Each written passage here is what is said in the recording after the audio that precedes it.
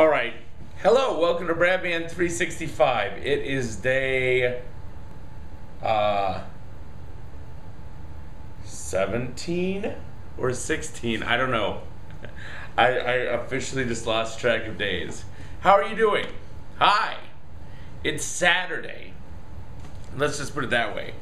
Today was a day when I tried to get a bunch of stuff done and I got distracted and got nothing done. So I'm a day behind now, and that just frustrates me because you know it's this thing where I'm trying to set myself up on a schedule.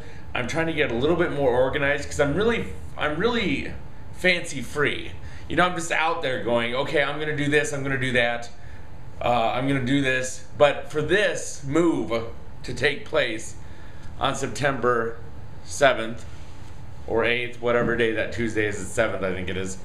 Um, everything has to be in place. Everything has to be in the right order. Stuff has to be taken care of before I leave. And there's a week where I'm not going to be able to do anything because I'm working, and that's the week that happens to be the week before I leave. So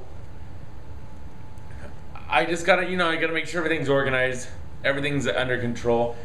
So here's an argument. I don't know if you guys can answer this question for me. Maybe you can answer this on chat room. But does FedEx have the same thing that like the post office has, where you can buy a big box and you just buy them, and then they're automatically used for shipping? Like you pay so much for a box, you load it up, and then you can ship it out or whatever if it's a certain weight. I'm trying to figure that one out.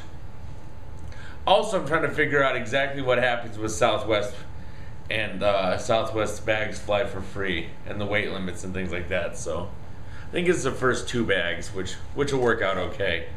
A lot of stuff like that, because you know, with me on the move, it's going to be basically put stuff in suitcases, important stuff I need, carry on, fly to New York, buy a bed when I get there, buy a dresser when I get there, unpack all my clothes, have my computer shipped to me. You know, I don't plan on having a lot of stuff when I get there because hopefully everything will work out and I'll be able to pick up the stuff I need when I get there. But you know, I don't know. Maybe I need to send a box of plates just in case I need plates. I don't know. This is the kind of stuff that uh, that I'm trying to get organized. But the way to get this organized is to get everything cleaned up in my apartment, start packing stuff up. I think I'm going to drop down to two computers instead of three so then I have one packed up and ready to go, and uh, and just getting organized. So that's what I've been doing. It'll probably lead in tomorrow. It'll lead into tomorrow now because I'm just exhausted. I'm gonna shoot this vlog, get this vlog done, then I'm gonna go to bed. And uh, see, I, I know you guys. I don't know if you guys understand this or not, but me talking to you right now helps keep keep me organized because then in two days, you can sit there on a comment and go, hey, Brad, did you do all that stuff you said you were going to do on Saturday? And then if I didn't get it accomplished, you can make me feel bad. See, when I tell you guys I'm going to do stuff, then I have to do it because if I don't do it, I get called on BS. I get called for not doing stuff, and that's what I, I need to do. This helps keep me motivated and keeps me moving in the right direction. According to the math, according to math, I think I have 54 days before I move, which I think is right. I'm pretty sure is right. I feel like today's the 17th day. 18th, 19th.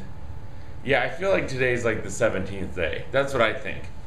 So, I'm not sure. Anyways, that's what I've got. I'm going to go back to doing a few more things. I'm load this onto the internet, then go to bed. I'll be back tomorrow with more Bradman 365. Uh, thank you for watching Bradman 365. Thank you for commenting. Thank you for all that stuff. Have a wonderful rest of the day.